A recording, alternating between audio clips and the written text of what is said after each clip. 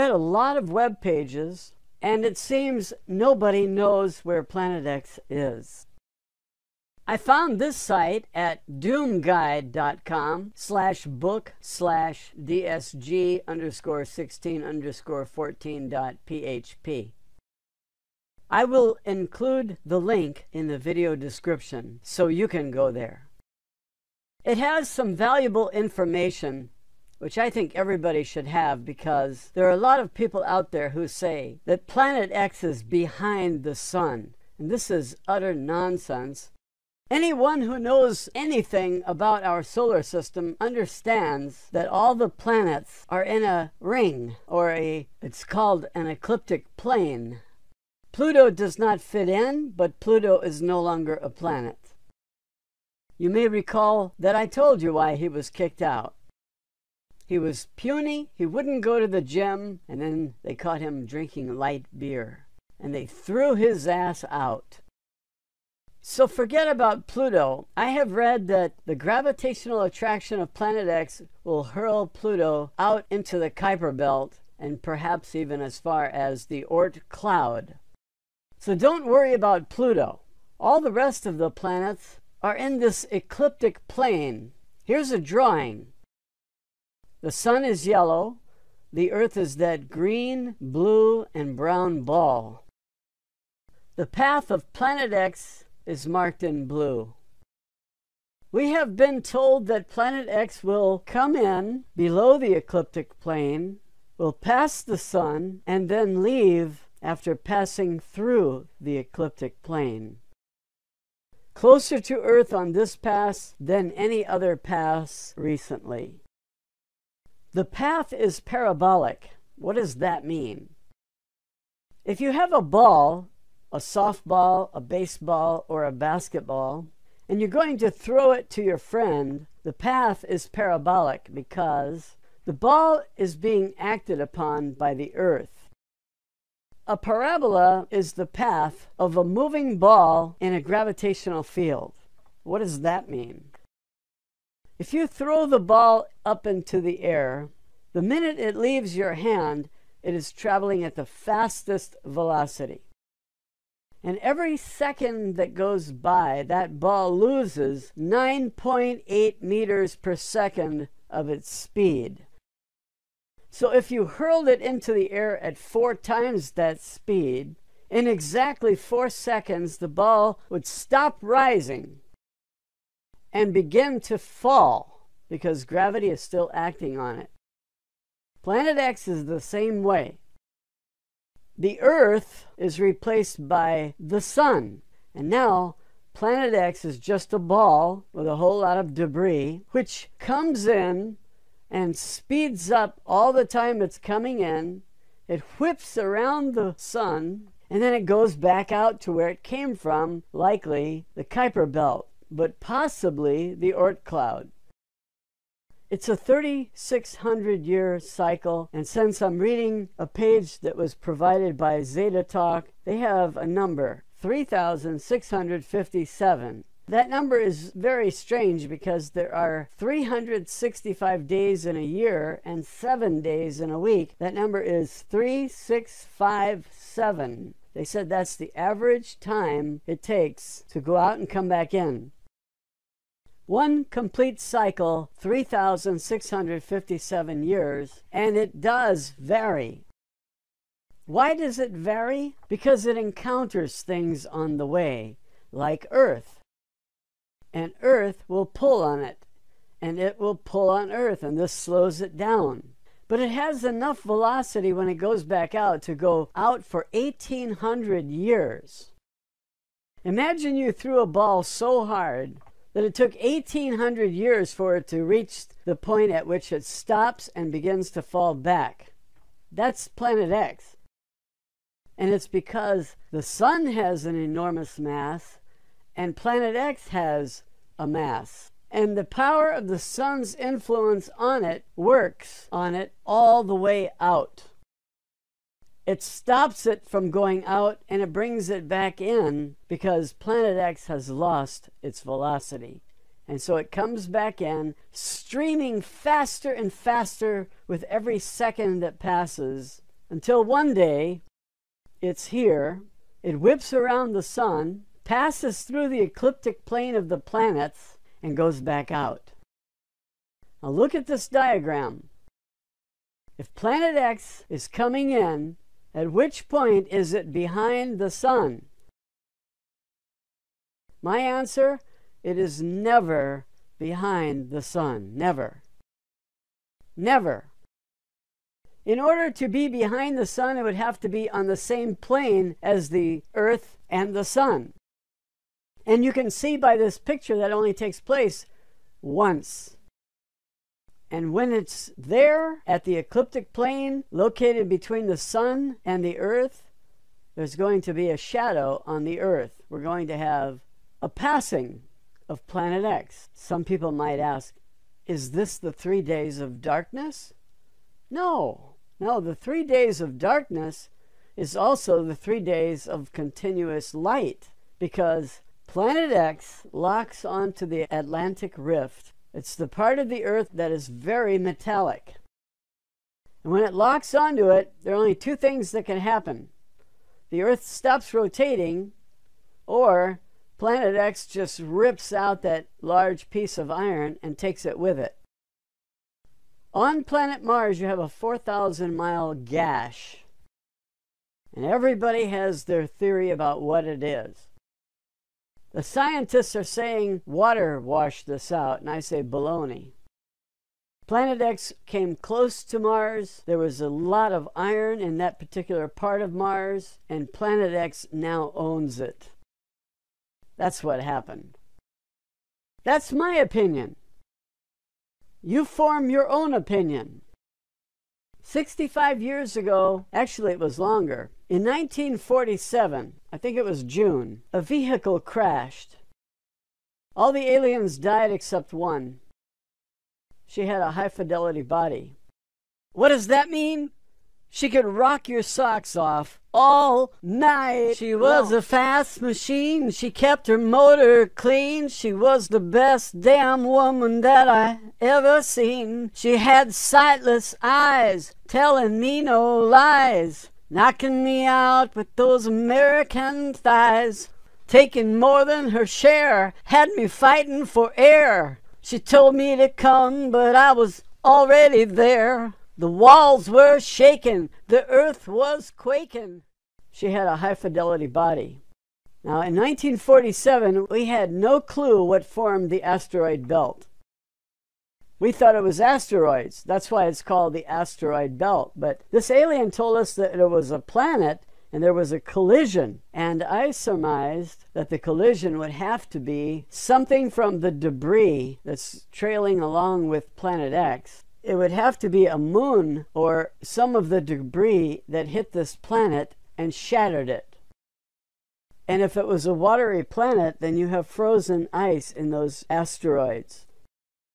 She did not use the term Planet X. This alien who crashed in 1947. She didn't speak English. She spoke 340 some languages, but she did not speak English. She only told us that there was a collision and it formed the asteroid belt, and I surmised that since planetary collisions are extremely rare, it would have to have been done by something that passed through, like Planet X. And so I felt when I read that that she was talking about Planet X. I didn't make that clear enough when I did the video, and so some people asked me, where exactly did she say that Planet X caused the asteroid belt? It was, I think, in chapter 6 when she talks about the collision that shattered a planet and formed the asteroid belt.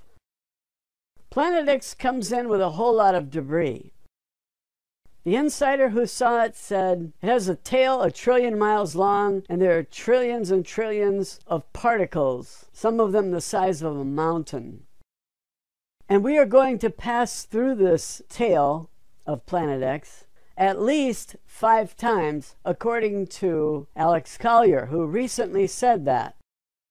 If this thing takes 3,600 years to go out and come back, it could have a tail that lasts five years, and he could be right. I don't like to get behind what other people say. I tell you what they said. I don't tell you if I believe it or not. I just say, this is what he said. Here's why it makes sense. But I don't want to go so far as to say I'm sure that it's right. Take one more look at this image because I want you to notice something. If you were to draw a straight line between the Earth and the Sun, and then you were to draw a second line at any point along planet X, and you can draw thousands of them if you want, tell me the angle that is created by the line that goes to the Sun and the line that goes to planet X at any point on its path. The farther planet X is from the Sun, the smaller the angle.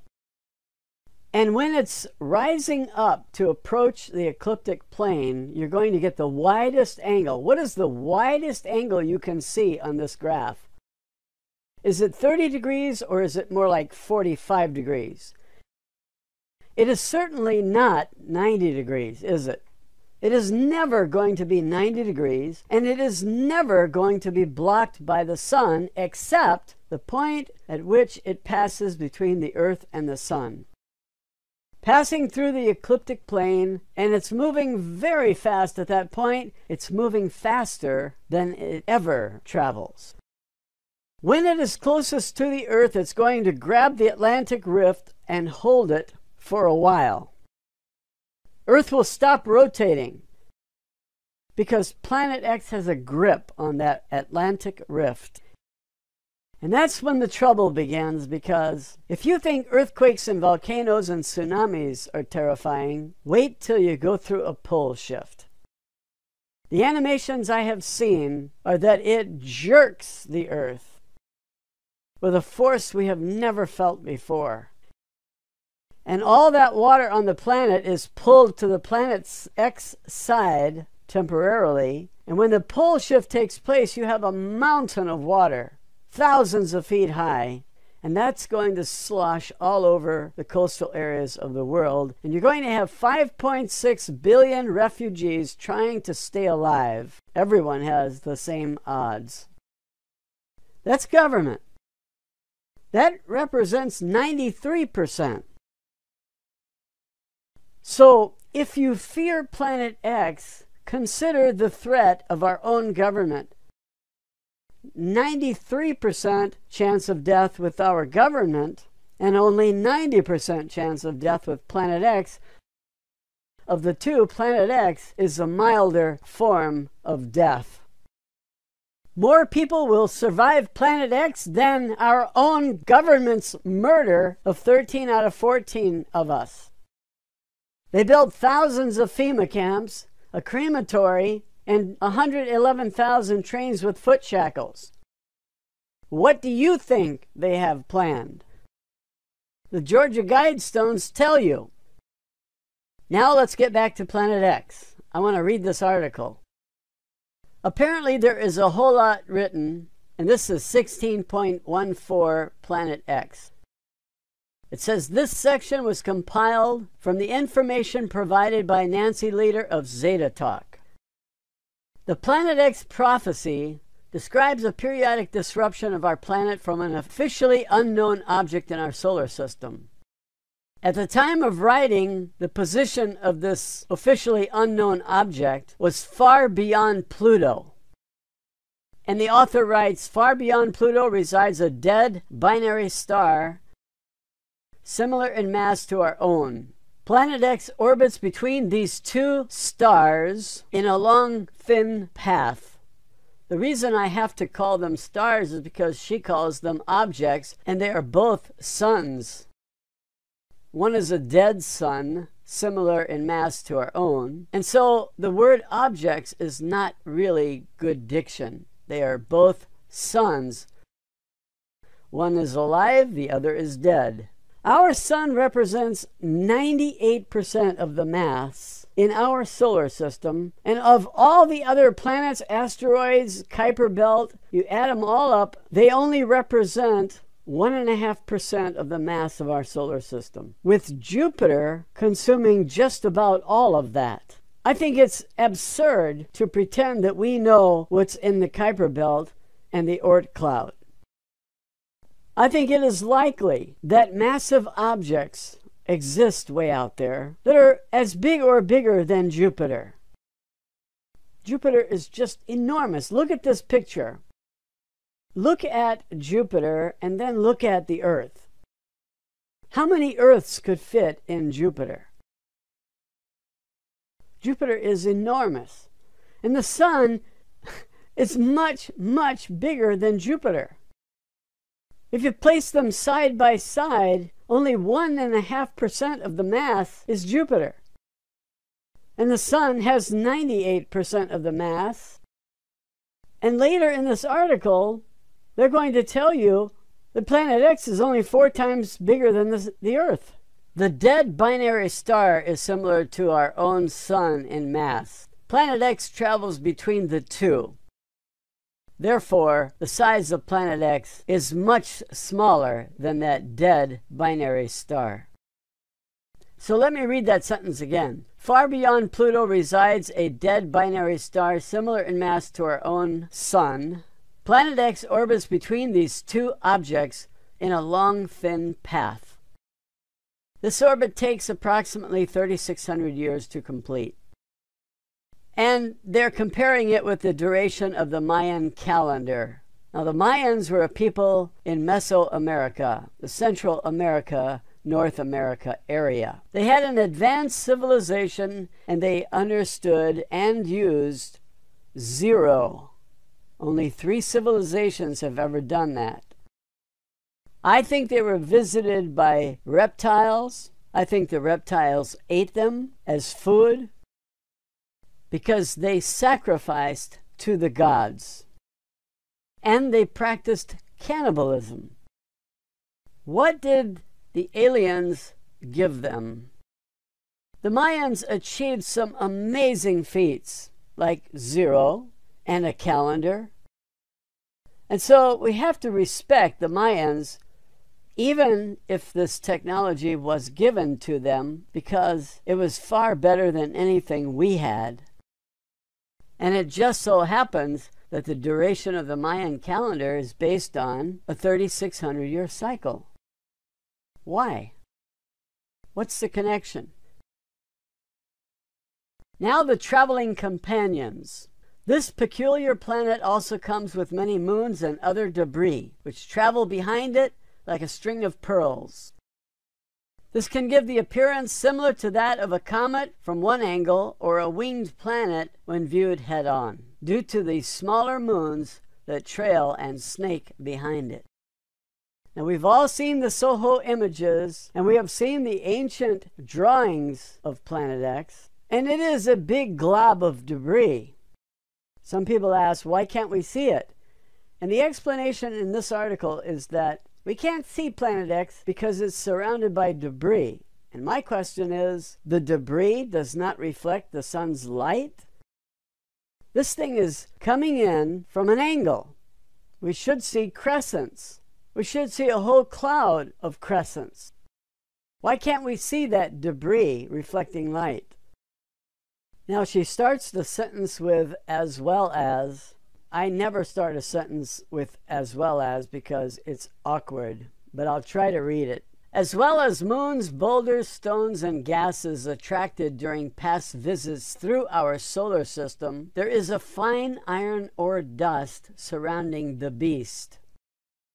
If it's an iron ball and it's magnetic, it will attract iron. And that's what happened to Mars. It got ripped off for a big chunk of iron. And if that's the debris that falls on the earth, look out. If we hit that chunk of Mars, it's going to have catastrophic effects. And I think there are dozens of chunks that large.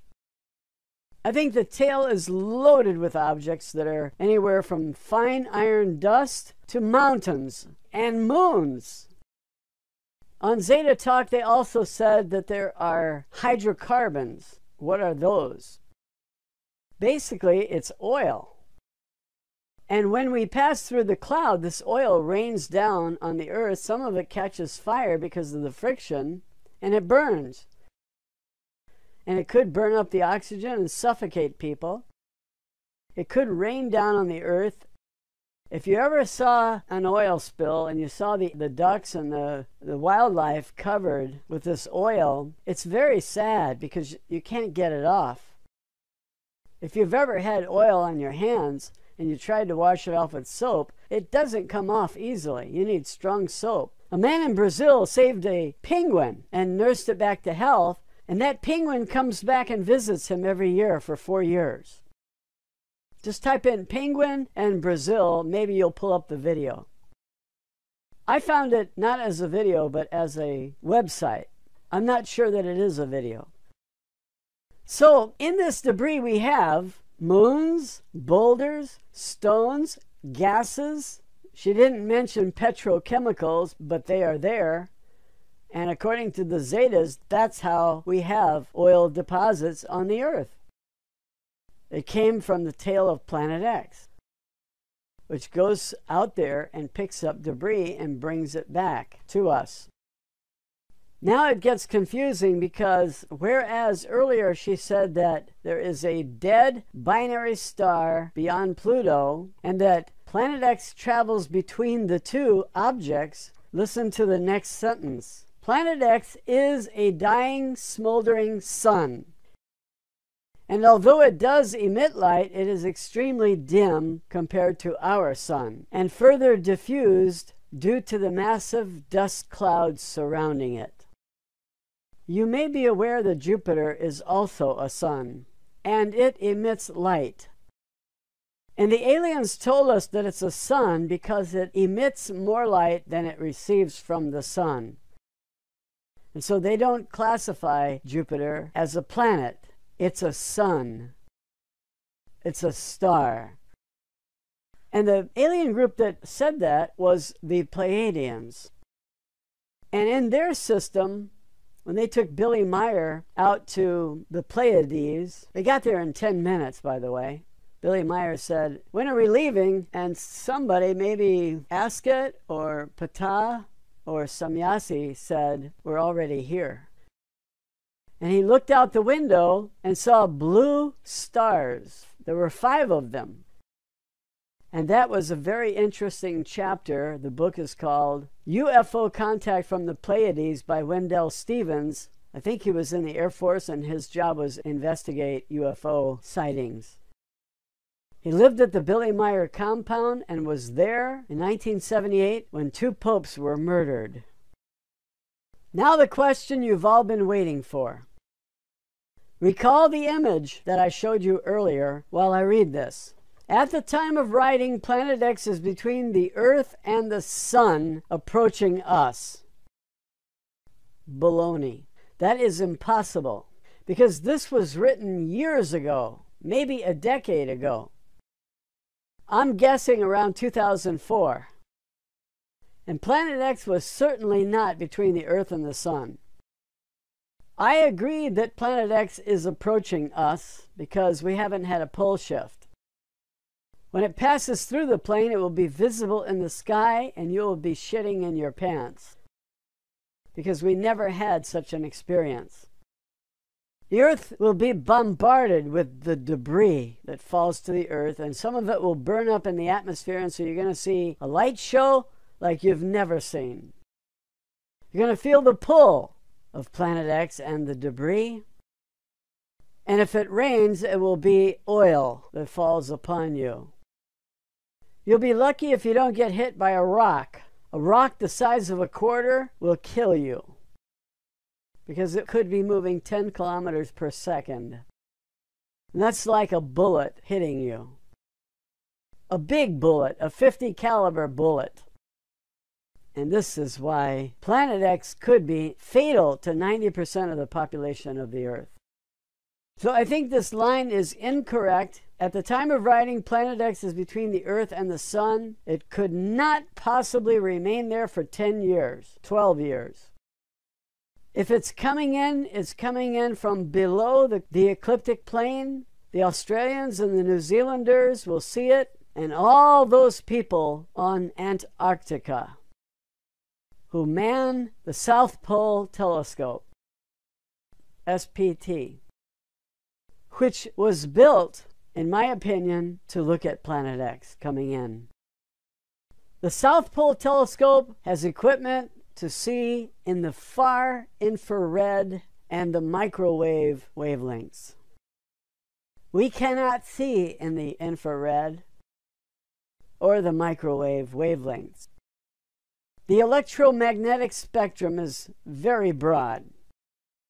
And if you were to stretch it out from Los Angeles to New York City, the visible part that we can see would be only the width of a dime. Two centimeters. Your first step from Los Angeles to New York City would be far, far broader than the visible part of the electromagnetic spectrum that we can see. You've got gamma rays, X rays, ultraviolet and infrared light, radio frequencies. These are all part of the electromagnetic spectrum, and you cannot see almost all of it. Almost all of it is invisible to your eyes. So if you can't see something in space, it might be emitting waves that you can't perceive. A mosquito can see in the infrared. It needs to because it needs to feed on blood from other animals. And so it sees all animals as varying degrees of infrared light. And when it sees the right frequency, it knows that lunch awaits and it flies over and bites. And it could be a horse and it could be your arm or your neck or your legs.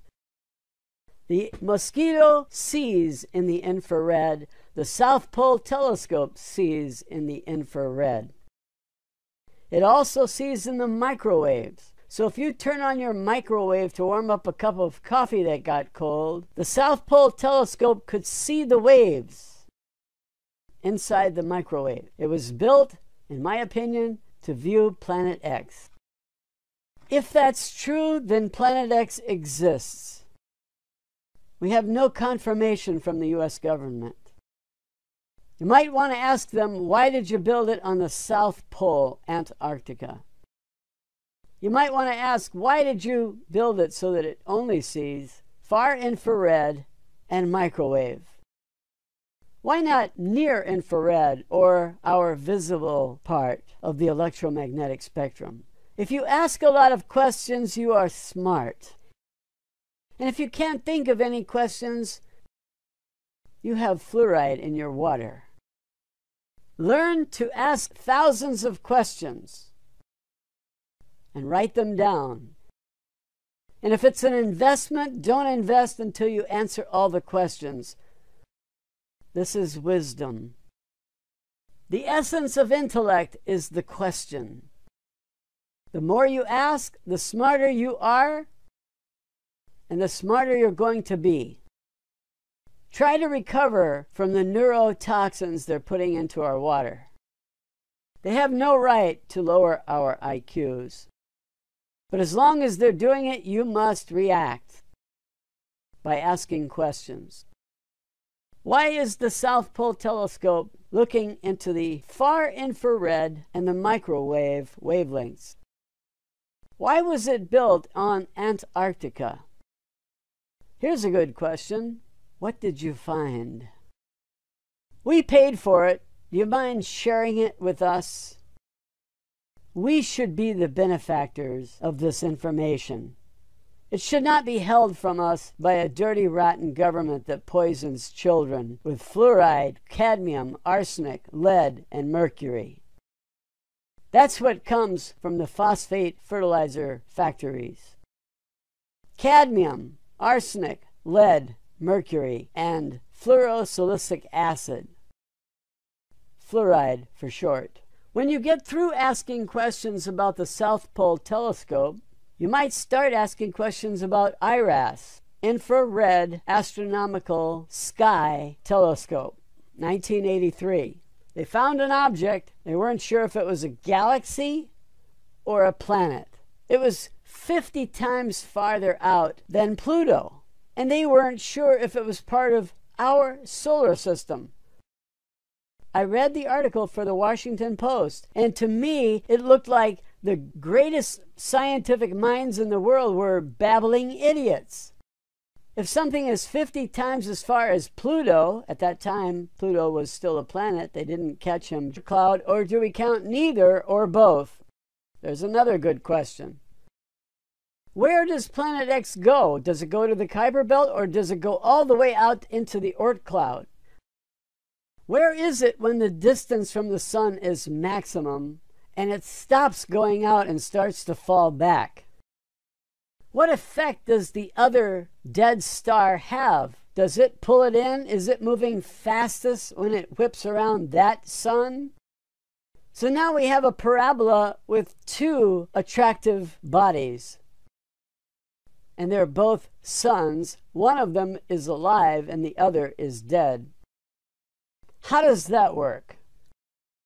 Write down your questions and pursue them if you want to be an intellectual. So we have a 3,600 year journey, perhaps. 3,657 years pass on average. The writer says after a long journey, its orbit, Planet X, moved through our inner solar system around the millennium. Does that mean the year 2000? She is placing it in our inner solar system, would that mean Mercury, Venus, Earth, and Mars? She says, since then, it has swung around the sun and is heading toward Earth. All right, she's saying this is past tense. This already happened.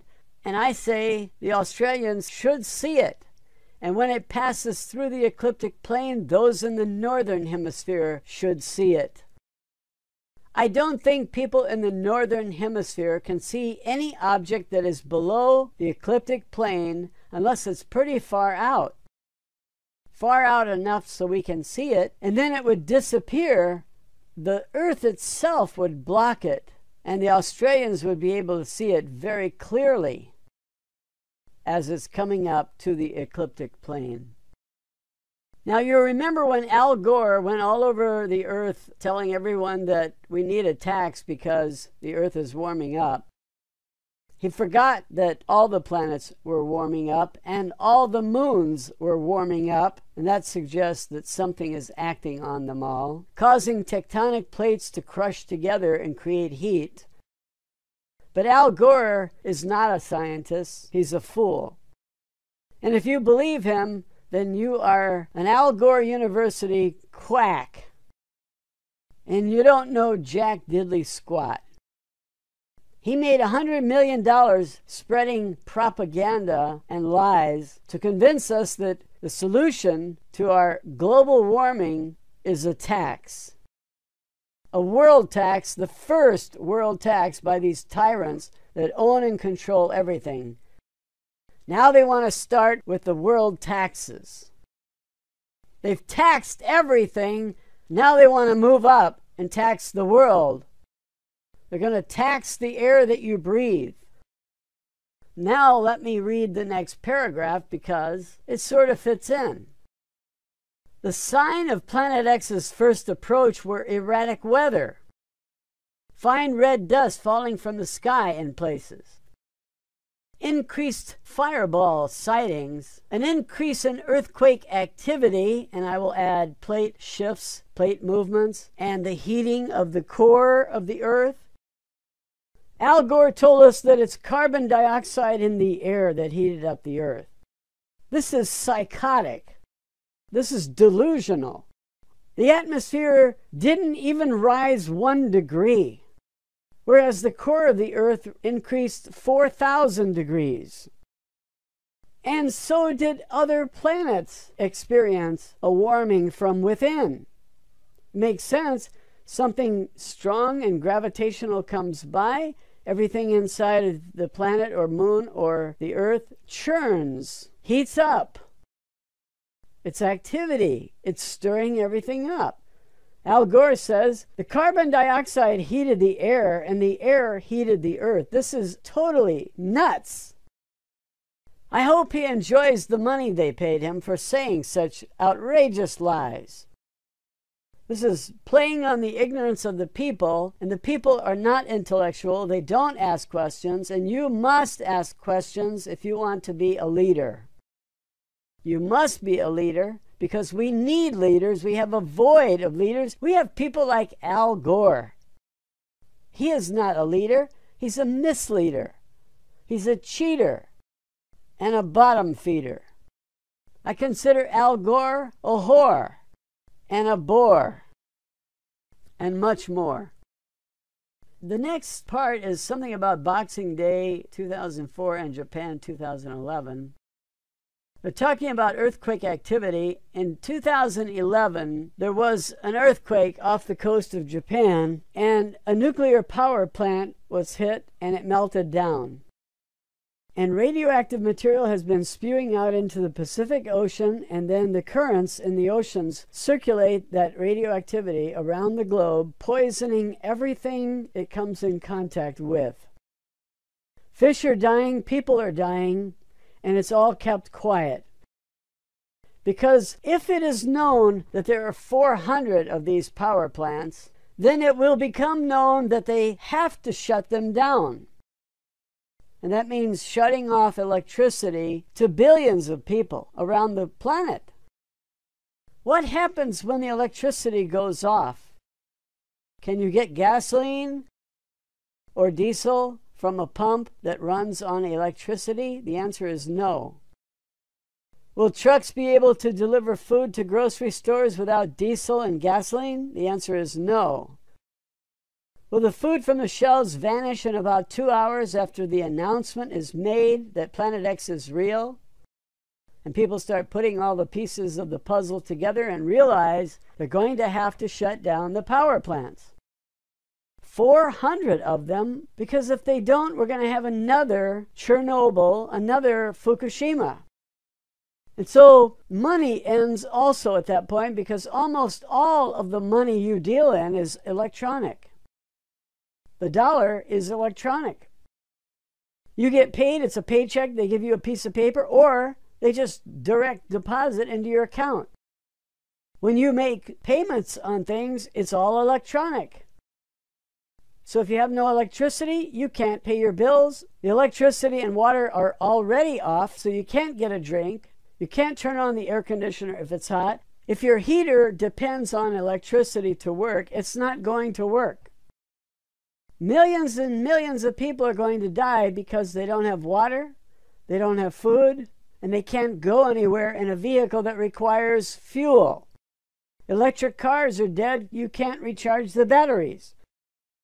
So they don't want to let the word out that there is poisoning going on every day.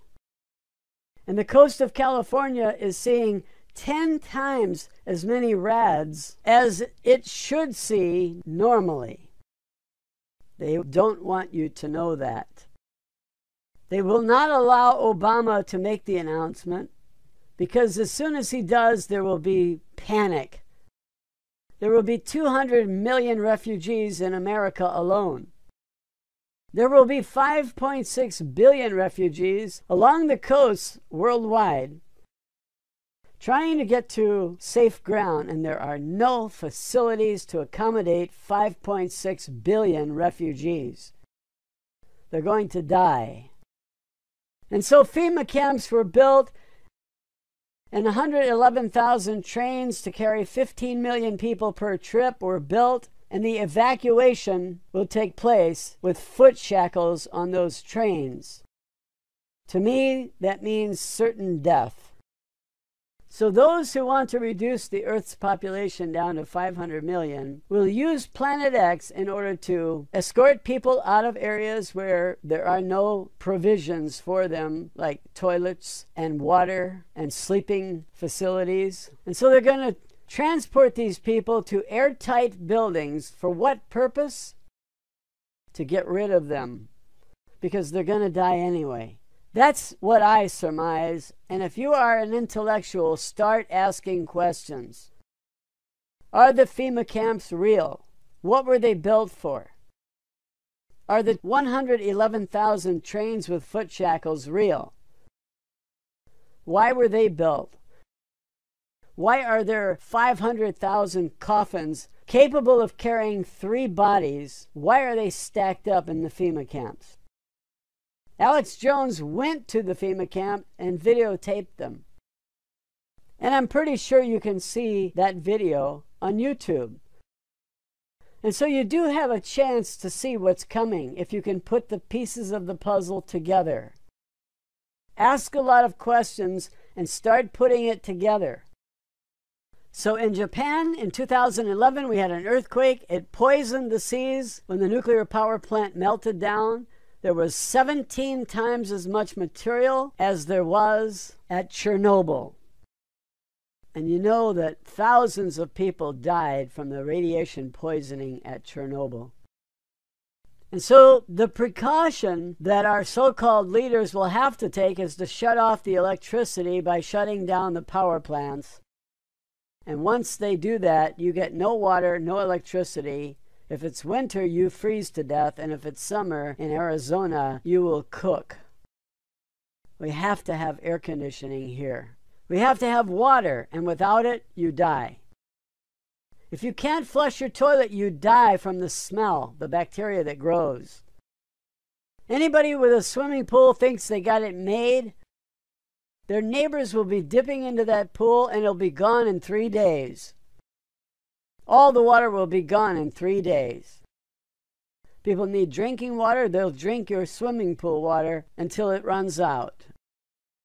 Each person uses 100 gallons a day for washing clothes, washing dishes, showering, flushing the toilet, and drinking water. And landscaping. I don't think that people will care much about landscaping if they're fighting for their lives. And so the use might drop to 50 gallons per day because half of the water we use is landscaping. That's why it makes no sense at all to put fluoride in the water. Why does your landscaping need good teeth? And where is it written? Where are the studies that prove that fluoride is effective in preventing cavities? We know it's toxic, we know it's poison. So, why put fluoride on your lawn? Why shower in fluoride? How does that help your teeth? Why flush fluoride down the toilet? They're spending $3.5 million, and 99% of it is wasted if fluoride is effective. So, why would anybody do something so stupid? That's all I'm going to say about fluoride here. But 50% of the water we use is for landscaping, and if you cut that down, you still need 50 gallons a day to wash clothes and wash dishes, and to drink, and to shower, and flush the toilet. When Planet X was approaching, it appeared as a star. But on its journey past Earth and toward the Sun, there were some sightings of a second sun. The second sun was never Planet X. I don't care who says it, it's not true. What's happening is a massive body is bending the light rays, and we're seeing bended light, and it appears as two suns. We know from Einstein that light bends. We know from the aliens that light bends. They don't use light years as a measure of distance because they said, first of all, light does not travel at the same speed all the time, it varies. And second of all, it does not travel in straight lines, it bends. So there was an eclipse of the sun, and stars in the background seemed to jump as the light was bent around the sun during the eclipse. The sun was blocked by the moon, and the stars in the background were in a constant position, and then they suddenly jumped. And that meant that the light was being bent and it is no longer bent. And when it straightens out, you see the light jump from one position to another. That's the double sun effect we already know it. The double sun effect is evidence that there's a planet X. Am I sure there's a planet X? No, I'm not. Planet X will never appear to move toward the sun. It comes up from below the ecliptic plane. That's just about 90 degrees from the sun at that point. It passes through the ecliptic plane where it does achieve a 90 degree angle Its path is 90 degrees from the line from the sun to planet X. It's a T shape, and it goes up above the ecliptic plane and it goes back out where it came from, perhaps the Kuiper Belt. I think it's reasonable that it goes out as far as the Kuiper Belt, but I don't know much about this other sun out there, this dead star that pulls it. If there is a dwarf star out there, uh, uh, one with a mass equivalent to our sun, it's not a dwarf star. Apparently, Planet X is a dwarf star. It emits light, it's a dwarf star. But the binary sun that's dark and dim and similar in mass to our own sun is out there somewhere. I don't know where, but it's out there. I'm not sure it's out there because I haven't seen it. I haven't seen proof of it. But the scientists are saying that it's out there, at least the Zeta Reticuli scientists. Each one of them has an IQ of 275 on average. They make Einstein look like he's been drinking fluoridated water. And the other toxic chemicals, cadmium, arsenic, lead, and mercury. And he's really dumbed down at an IQ of 180 they are nearly 100 points above that, and some of them probably have IQs of 400. Do they have mentally retarded with an IQ of only 200? That's smarter than Einstein. And they say that there is a star out there, a dead star. It's a binary star system we have. Our sun is one, and that star is the second.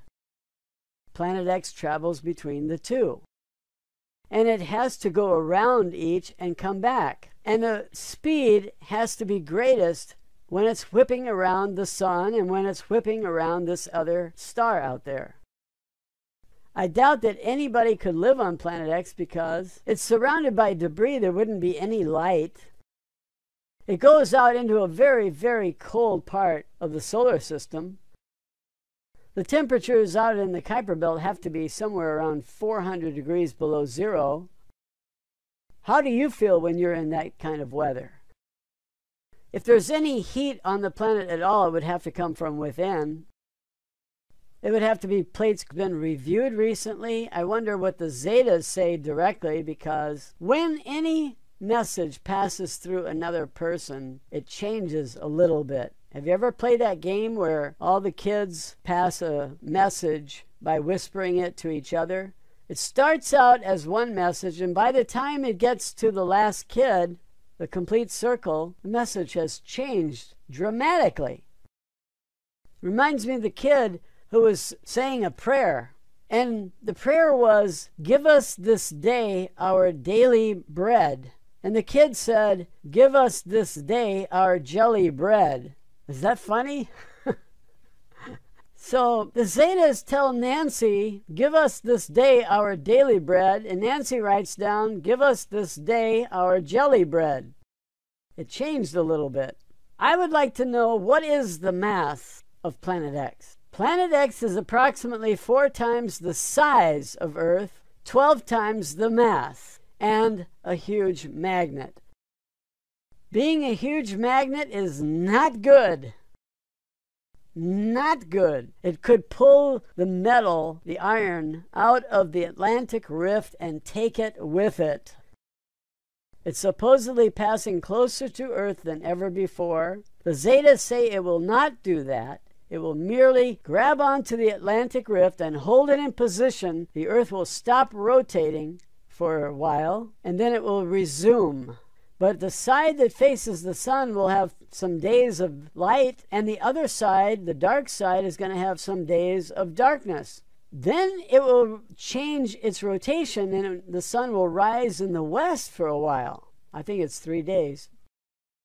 And all of this is going to be pretty amazing if you survive the passing of Planet X. And since it's a big magnet, this is not good.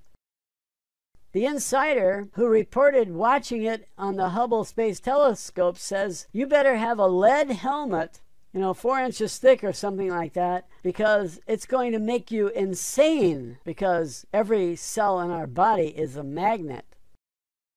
Every element on the periodic table is a magnet. The reason that fluoride is so poisonous is because it is the most electronegative element on the periodic table, and people cannot grasp that concept that we are all magnetic. Everything is magnetic. The sun is electrical, which is related to magnetism. Gravity, magnetism, light, it's all electromagnetic. We don't need something huge and magnetic passing close to the earth. This is terrible, as you will soon see if it's real. So, as it travels through our inner solar system, it can have dramatic effects on the planet it passes by. That's what the author wrote. And I'm adding if it passes nearer to the Earth than ever, look out. We're all in trouble. We're going to proceed to the next section now, and it's very important. I want to ask you one question before we hear what the author wrote.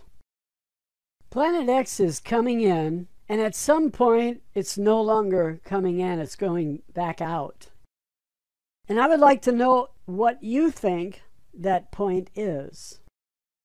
We know that it comes in under the ecliptic plane, and we know that it goes out over the ecliptic plane of the planets. What is the midpoint of those two paths? It's the pole shift. When planet X reaches the ecliptic plane, it's no longer coming in, it's now going out. And the author writes The prophecy in its simplest form, I forgot to read the heading, Interaction between planets. The prophecy in its simplest form states As planet X leaves our solar system, and grabs the Earth's south pole with its north pole and drags us along with it. Remember, with magnets, opposites attract. And so the south pole of the Earth is going to get a yank from the north pole of planet X. It pulls the Earth in, but it moves a little bit, and Earth does not follow. It would be a catastrophe if the Earth became one of the objects, the traveling companions of planet X. I'm sure this has happened. If there were people on the planet, it killed all of them. In that case, it would be more deadly than our own government. When Planet X grabs the south pole of the Earth with its north pole and drags it along for a short distance and releases it, this results in a 180 degree shift for the core. Now, if you've wondered what causes a reversal of the poles, the North Pole becomes the South Pole, this is telling you this is how it happens. A large magnetic object comes by and causes the core to reverse as it passes. It just spins around and now it's facing the opposite direction. That is the core. The crust makes a 90 degree shift because it is dragged along with the core and it doesn't drag very well. There's a little bit of looseness. And so we only get a 90 degree shift. And that's why planet Earth has had a North Pole in many different places. That's why we have the Great Lakes. Because when the North Pole was over Wisconsin, just north of Wisconsin, there was probably two miles of snow as there is currently in Antarctica. Antarctica was a tropical climate, and so was Siberia. Both today are very cold. India is warm today, but the Zetas say that India will be one of the coldest places on the planet. Brazil is nice and warm right now. With a pole shift off the coast of Brazil, you will see one of the poles. When you look at the Earth as a globe, you see that India does not line up with Brazil as north and south. And so this shifting of the crust is not going to be perfect. It's not going to all move together. There are going to be some plates crushing, some land masses sinking, and some land masses rising up out of the sea. Who owns that land? You can be sure that the fascists will try to claim it. Like they have grabbed so much of the western United States land. They own about 50% of the West. And I think those territories belong to the states, not the federal government. The federal government has emerged as a monster grabbing everything they can, grabbing all your money through their crooked banking system, and grabbing land as if it was theirs. Who appointed them to be the land grabbers? Certainly not the people. So if we have land that rises up, I think it should be Liber land. In other words, libertarian land. It should belong to everyone, with no one putting a finger up your ass. We don't like the finger up the ass. It's time to cut out that bullshit. If you want to put your finger up your own ass, go ahead, but leave us alone when we're trying to get on a fucking plane. So the core shifts 180 degrees, and the North Pole becomes the South Pole, and the South Pole becomes the North Pole. They have moved because the crust moves 90 degrees. And after that, we have normal rotation returning, but with a changed axis of rotation and a different geography. So we're going to see the western part of Australia go under the waves. We're going to see India go under the waves. And there are going to be a whole lot of refugees starving and desperately in need of water, and they're not going to get it. It will be catastrophic, and I hope that Planet X is not real or put off for a few centuries to give us a break. But when we get a break, we push that off on someone else, and that's not right. Now she has given us a brief description of the exit of Planet X and the effects interactions between planets.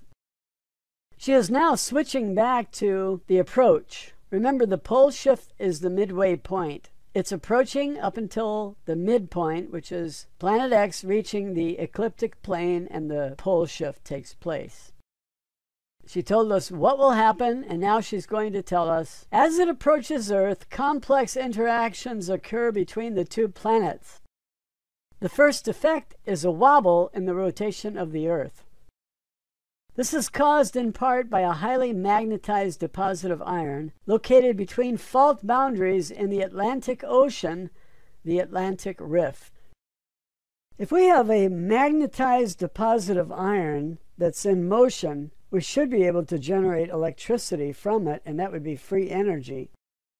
I'm sure that some people figured that out and came up with inventions, but the U.S. Patent and Trademark Office denies patents for free energy devices because it threatens big oil. And that means that our government, including the Patent Office, has been taken over.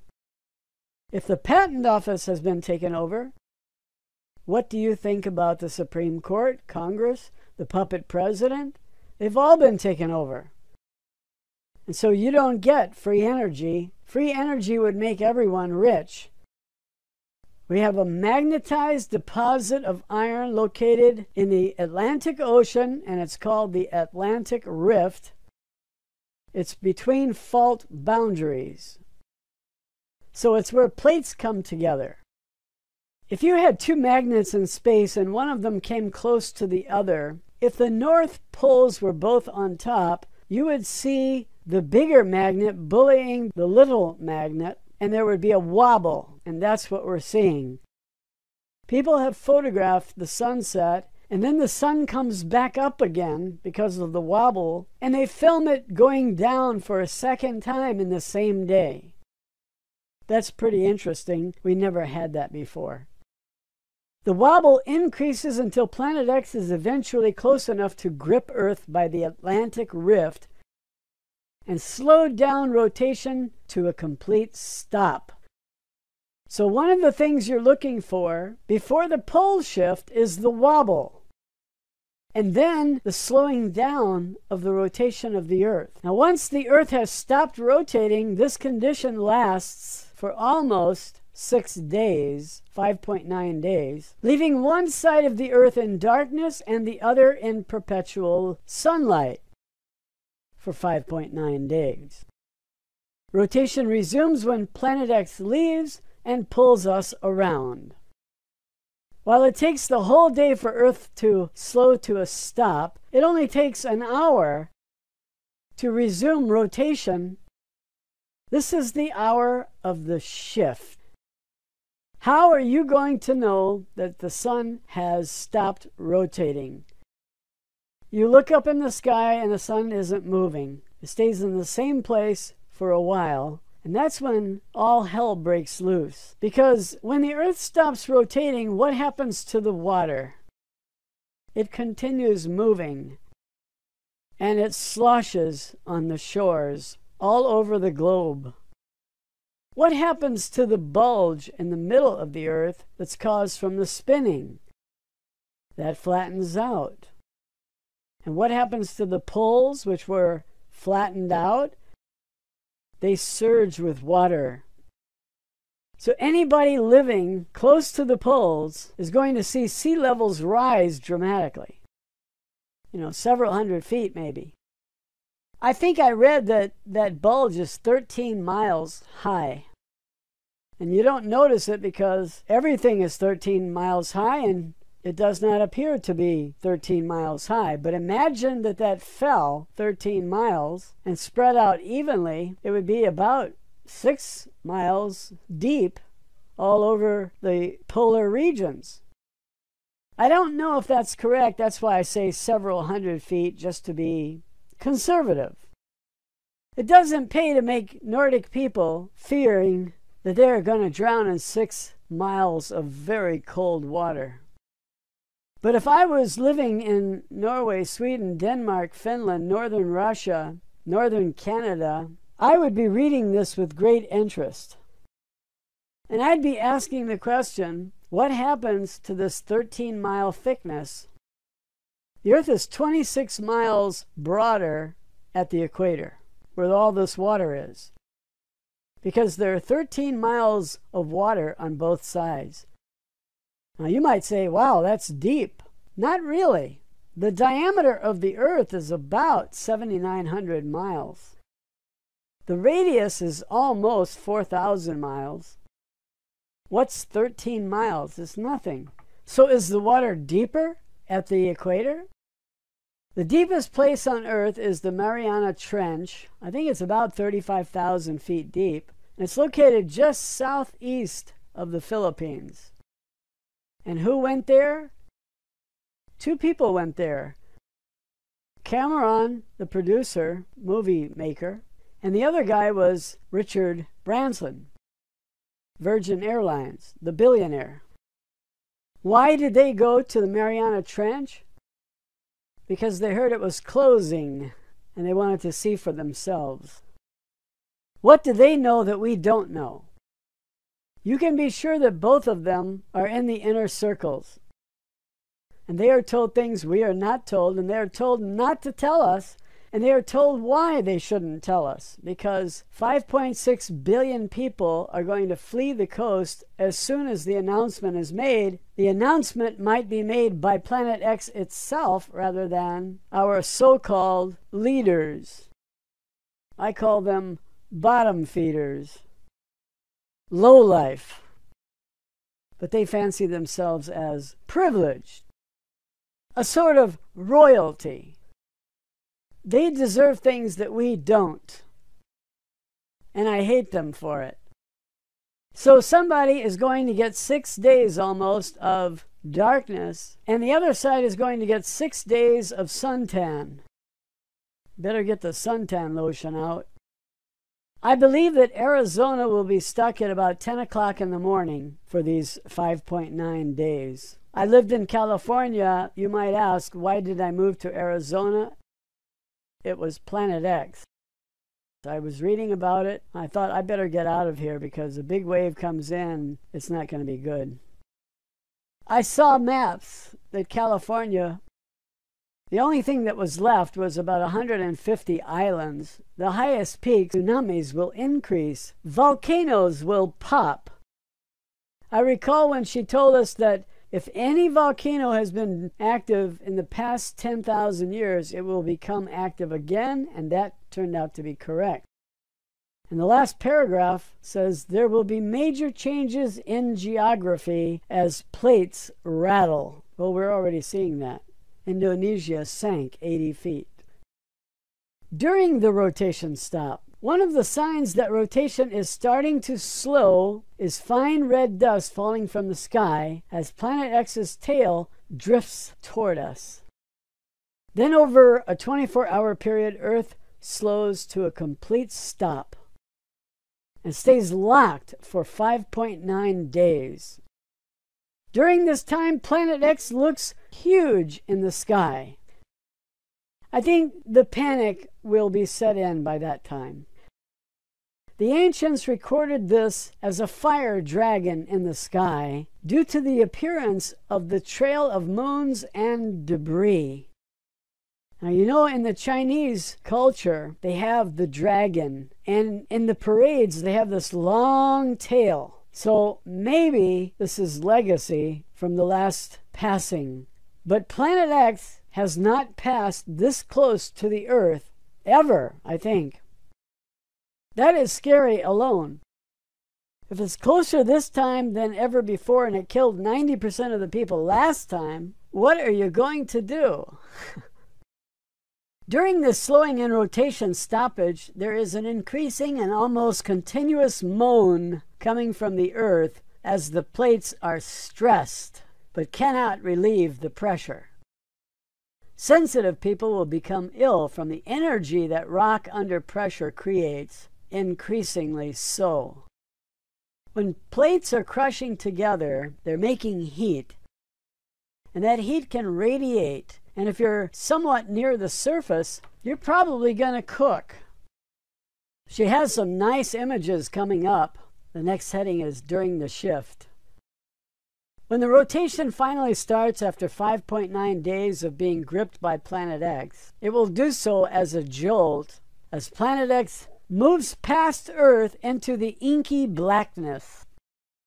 It is best to be sitting or lying down when the time is getting close and have a lot of toilet paper around. You will be thrown toward the current north. You know, what really scares me are the 300 mile an hour winds because the worst hurricanes we have ever had are 165 miles per hour, and this is double that. The energy that the wind has doubles every 10 miles per hour. So if you go from 165 miles per hour, which is, you can't live through that, it picks up things and throws them at you like buildings and all those boards. I've heard about a, a two by four that was thrown into a tree and it went right through the tree. There's a lot of metal and glass, and if you get hit with a 300 mile per hour piece of glass, it could cut you in two. Look at this graph. The power of the 300 mile per hour wind. A class 4 hurricane, which is the strongest winds we've ever experienced in a hurricane. 165 miles per hour. If the speed goes up 10 miles per hour, the power of the wind doubles and so let's look at that factor. We're going to continuously raise the speed 10 miles per hour, and we're going to double the power. This is very frightening. At 175 miles per hour, you have twice the power of the wind. And at 185, you have four times the power of the worst hurricane ever. Now, do you see everything blowing away? If a woman has her clothesline out It'll blow all of her underwear at you. Imagine a big woman's underwear coming at you at 300 miles per hour. You don't have a chance. The power of those underwear would be 16,384 times as powerful as the most powerful hurricane we've ever experienced. That's frightening. You could be killed by a bra. Now is the scary part. At this point, a great wind will start as the Earth is dragged under her atmosphere. So that's what she means by you're going to be thrown north. If the crust moves, 90 degrees, and it takes an hour. We're talking 6,000 miles, and that means you're traveling 6,000 miles per hour. And the atmosphere is dragged, it's only going about 300 miles per hour, but it cannot keep up perfectly. This wind will come from what is now south, but due to the change in axis, this is the new east.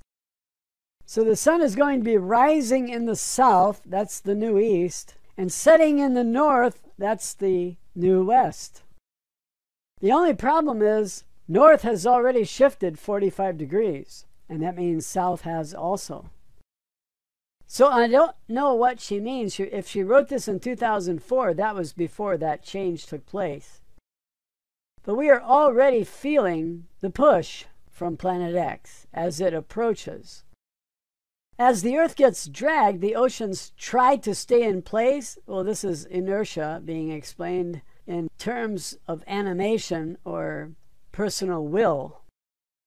As the Earth gets dragged, the oceans try to stay in place, inertia. This causes sloshing of the oceans on the coastlines. First, the currently southern coastlines, and then the northern as the water sloshes back. So, everybody living on the south side is going to get wet first, and that means that Houston, Texas is going to get a blast from the Gulf of Mexico. And when it comes in, it's going to go all the way to Dallas Fort Worth because it's all flat. It's not going to rise up and go to El Paso because that's the highlands, but it's going to sweep right across Houston, knocking down everything in its path, go all the way to Dallas Fort Worth, knock down everything there, and then drag it all out to sea. I heard Nancy explain that on one of the videos. She says there's nothing to stop it. and It will go all the way to Dallas, Fort Worth. She says be at least 160 kilometers, 100 miles from any coastline. I don't think that'll help you. They found whale bones, all ages, all busted up at the top of mountains. And that means that the water sloshed and threw them there and killed them. And so, if you think you're safe being 100 miles from any coastline, think again. If you think you're safe because you're 600 feet above sea level, think again. The tops of mountains are not 600 feet above sea level. They found whale bones there of all ages, which means they died catastrophically. What could have caused it? I think sloshing seas would cause it, a pole shift would cause it, Let's put the image on the screen now and talk about what we have. We have some new land emerging. And you can see that it's off the coast of South Africa. It's also off the coast of Antarctica, which is going to be warmer. We have existing land that will remain untouched, and that is Africa, Europe, Russia, China, Indonesia, Japan, Greenland, North America, South America, Australia, and Antarctica. That's the dark gray, the light gray is ocean. The lands that will submerge are India and the western two thirds of Australia. To all the people of Perth, might be a good idea to go to Brisbane, Sydney, and I think New Zealand is looking very good. I would not go to New Guinea because there are cannibals there and they ate Michael Rockefeller. He ran out of gas with his boat. He swam to shore through shark infested waters, and either the sharks ate him or the cannibals ate him. And one guy from the cannibal group came forward and said that a man did come to shore. They hit him in the back of the head with a hatchet. They cut his arms and legs off, put them on the fire. They drank his blood. They ate his brain and they devoured his body. He was like 23 years old, I think. So you see that little area there to the left of Australia in this picture? You see the light gray and the dark gray. The dark gray is submerged. New Guinea is not submerged. Half of that island is New Guinea, and the other half is something else I forgot. Sumatra, maybe? I, I can't remember my geography. But that little cutaway part in the northern part or the upper part, that's where those cannibals live. I did a video about that. I don't remember what it was called. Maybe you look up Rockefeller and you'll find it. So that's the new geography after the shift. They have a picture of the water levels showing the gray area to be flooded, light gray already submerged, the white is the ocean, and the darkest gray is above sea. So we're going to have a lot less land on this planet. Sea levels are going to rise with the melting of Antarctica, two miles of ice. If that's warm climate, how long will it take for it to melt? I don't know. A couple of years? It depends. If the sun is shining on it, it could melt pretty fast. What's reasonable? 10 feet a day? I don't know. 100 feet a day? I have no idea. It's a good question for an intellectual to ask. How long will it take for two miles of snow and ice to melt in Antarctica if it's warm there and the sun is shining on it? Another question Will Antarctica be the equator? Let's go back to that other picture. Yes, yes, indeed, Antarctica will be the equator. What about Siberia? It will be very close to the equator, if not part of it on the equator. So if there's any snow and ice in Siberia, it'll melt. Now let's go back to the map we were on. We see that the entire Green Bay area has flooded. We see that Central America is, for the most part, gone, submerged. We see all along the eastern coast it's all underwater. The entire state of Florida and much of Georgia is underwater, and the Mississippi River is now 50 miles wide and it's salt water. What about Cuba? Cuba has some tall mountains, and parts of it are going to be sticking out of the ground, I mean, out of the water. But a lot of Cuba will vanish under the waves. Will the sea levels rise gradually, or will they slosh around, kill everybody at the coast, and then rise gradually after everything settles down and the Earth returns to orbit? When Earth returns to orbit, we have a new equator. And if that part bulges, what does that mean? It means it's going to be 13 miles deep. And so a lot of land that is along that equator, let's go back to that picture again. Western Africa is on the equator. If that swells 13 miles, we get a bulb all the answers. But that's okay. There's a lot of information here. Flooded and submerged areas. That's the map we just saw. The new arrangement will place the existing poles at the equator where they will melt before the new poles freeze. The above map shows the extent of the flooding due to this temporary rise in the ocean level. So we're going to have a temporary rise in the ocean level from the melting of two miles of ice. I think that would raise the ocean something like 400 to 600 feet. I recall the Zeta said 675 feet. The next section, 16.14.2, timeline of the last weeks. When you can see Planet X with the naked eye, undeniably in the sky, time is short. This is the indication that the final seven weeks have arrived, and a timeline of events is provided. This is very useful. I'm glad the Zetas provided this. At this point, emergency management teams are exhausted from the constant calls for help.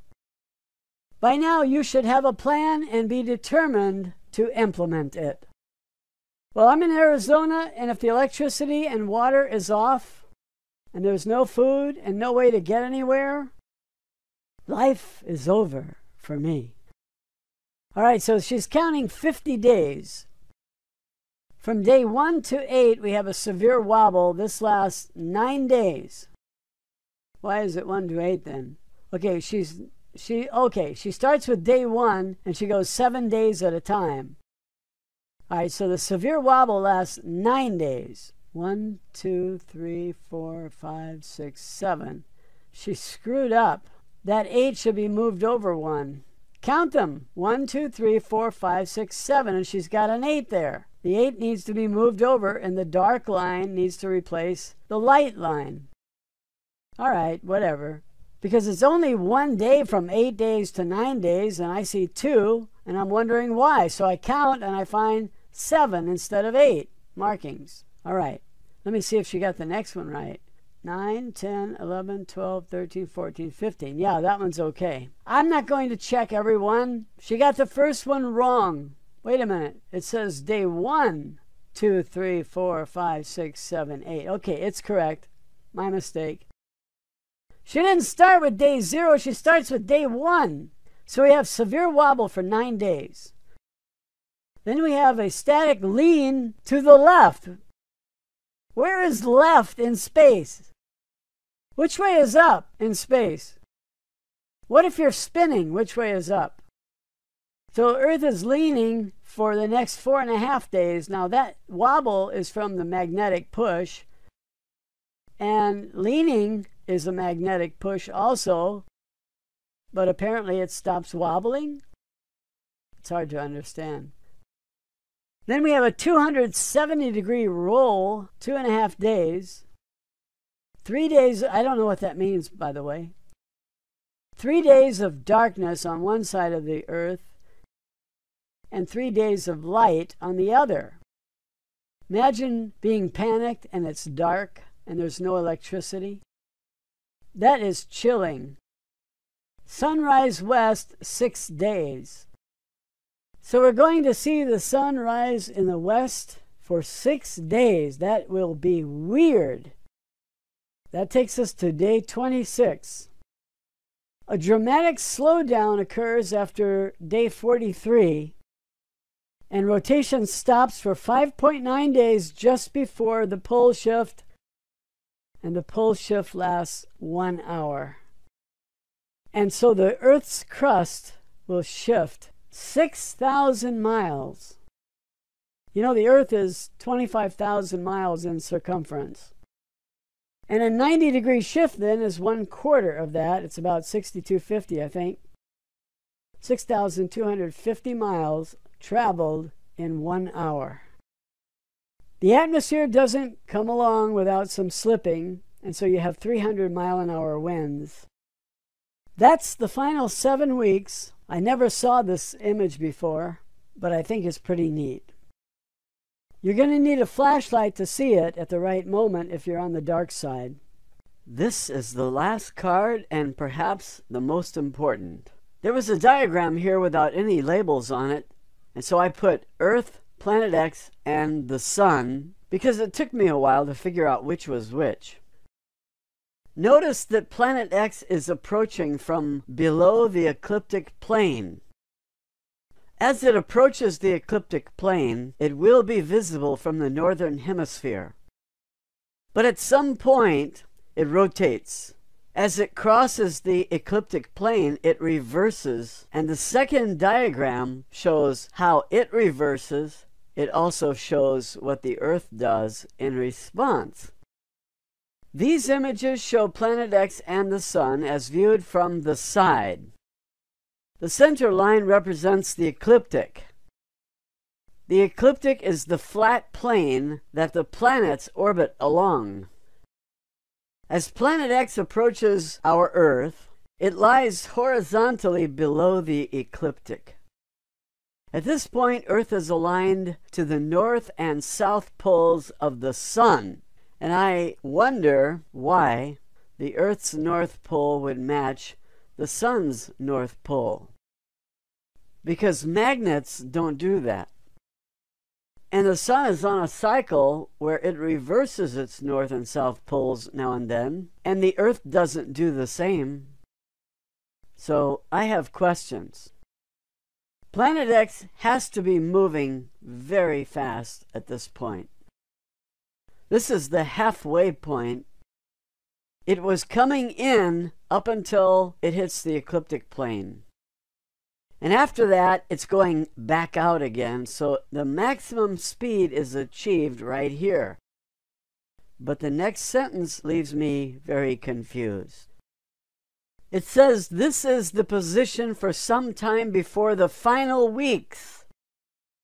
It is when Planet X pushes through the ecliptic that the situation begins to change rapidly and a severe wobble develops in Earth's orbit. The sun and moon will often be in erratic positions during this time. Let's go to the lower description and image. At this point, Planet X starts to turn in a clockwise manner. So, whereas Planet X's North Pole was facing the Sun on approach, it does a reversal, and its South Pole is then facing the Sun. And Planet X aligns with the Sun's North and South Pole, as you can see in the diagram. At this point, Planet X starts to turn in a clockwise manner. As Planet X swings its north pole to the right, Earth moves her north pole away, falling on her side in a lean to the left. You have to look at the top picture, that's the way the Earth begins, and then it winds up in the bottom picture with the arrow pointing at it. The Earth is to the far left, Planet X is in the middle, and the sun is to the far right. The sun is so much larger than Planet X or the Earth that these diagrams fool you. They all appear about the same size. Remember, 98% of all the mass in our solar system is in the sun. And so Earth probably doesn't even show up as 0.0%. It's that small. The writer says keep an eye on Polaris or the Southern Cross to determine this event. This will also bring the tail of Planet X as facing the Sun, so that's confusing. The next confusing thing is what it says next. This slow 270 degree roll continues, and Earth must avoid the North Pole of Planet X. All right, so as Planet X is rotating around, doing a reversal, the Earth has to do a reversal also. I don't know what a 270 degree roll is, but let's go along with it. So the Earth is trying to avoid the North Pole of Planet X, which is facing us, the Earth. And so our North Pole goes around to the backside with the South Pole, Antarctica, facing the Sun. The author says the Earth's North Pole avoids the North Pole of Planet X by pushing her North Pole away, lying on her side. This produces three days of darkness.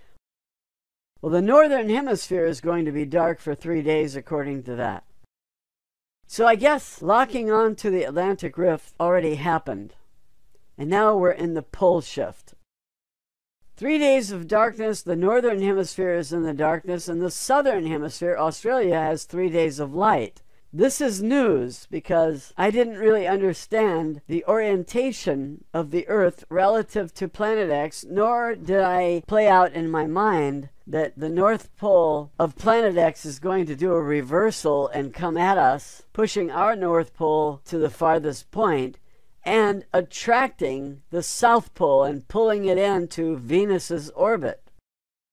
If the Earth is pulled into Venus's orbit, it's going to get very hot for a few months. Until Earth goes back into its orbit, what force is going to push Earth back into its orbit? This sudden shift of the North Pole pointing up to the North Pole pointing to the left relative to the sun is going to cause a lot of sloshing of water, and the coastal areas are going to get drenched. I'm talking about big waves coming in, larger than you've ever seen before, knocking down steel and glass buildings, old brick buildings. It's going to destroy most coastal areas. There will be a lot of rebuilding afterward. So the northern hemisphere will have three days of darkness, and this is the first time I've ever become aware of that. Earth continues to roll in sync with Planet X, and everything is turned upside down. This creates a condition of sunrise west, which lasts for six days. I don't see how the northern hemisphere can have a sunrise at all. The orientation is the northern hemisphere is in darkness. When Planet X leaves the ecliptic plane, Earth will then realign with the Sun somehow, and I presume that the North Pole will be north, but that's just the core. The crust of the Earth shifts 90 degrees and it doesn't go back. Things are going to get very weird. The sun rising in the west is going to be startling to the people. But with waves sloshing into shore and 5.6 billion refugees trying to escape and all dying as they try to escape, and the military putting guns in their faces telling them, go back where you came from, there are no facilities, no water, nowhere to go to the bathroom, there's no food anywhere. Chaos will follow. Cannibalism, perhaps, and the military will be given orders, and they will either follow those orders or they will allow the people to go anywhere they want. Let's consider both. If they follow those orders, people who are trying to flee, trying to save their lives, are going to overwhelm the military. There are too many people. You let loose 5.6 billion people around the earth. The military will not be able to handle that many people. And so I see the military collapsing. I think they will be beaten to death if they don't. So they will be forced to use their guns and kill people, or they will be beaten to death if they attempt to hurt anybody. I don't know if people will leave their homes with guns. But handguns are a given. They're going to carry the handguns because they're going to be scared and they're going to want those handguns. Every checkpoint is going to search for guns, but they cannot put out enough checkpoints with this many people on the loose. Imagine 200 million people in the US on the loose, on the run, trying to save their lives. There isn't a military force on the planet that could stop them. I think that people will turn on the city cops. If any military squadrons try to maintain law and order, they're going to be facing deluge crowds. And I think most of these crowds are going to be on foot because I don't think you'll be able to pull in and get gasoline anywhere. Cars will be abandoned everywhere. And they will remain abandoned until gasoline starts flowing again, and that could take years. It would take months for planet Earth to right itself and resume normal rotation. It says right here the sun will rise in the west for six days. How long can you live without water? Can you make it six days? You can't carry enough water to last six days. Do the math, pencil it. You can't carry enough water for six days. People are going to be turned away everywhere they go. And they're going to come like a swarm of locusts. 200 million of them, minus those that perish from the big waves. All those people out there who say they want Planet X to hurry up and come, you don't know what you're in for.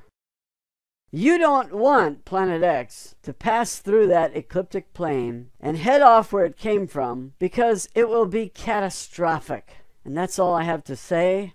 Thanks for staying to the end. Have a wonderful day.